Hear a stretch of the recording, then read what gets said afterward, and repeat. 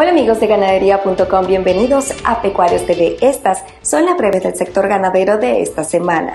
Ganaderos de, Durango reportaron que las sequías de este año han provocado la muerte de 18 mil cabezas. Estos decesos se deben a la escasez del agua y de alimento. Advierten que la situación para el próximo año puede empeorar y desaparecer la mitad del hato estatal.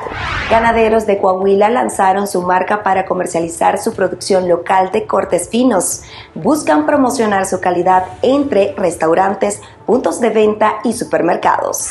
El GCMA reportó que hasta julio la carne de res fue la proteína animal más exportada por México, con cifras cercanas a 187 mil toneladas. La ganadería chiapaneca será la primera en ser reconocida con un sello que certifica su práctica como una producción sostenible. En Tamaulipas se ejecutará un barrido sanitario contra la tuberculosis bovina en seis municipios. Buscan continuar con sus exportaciones de ganado en pie a Estados Unidos y proteger a casi 13.000 bovinos en 241 unidades de producción. Muchas gracias por acompañarnos en las breves del sector ganadero. Nos vemos la próxima semana.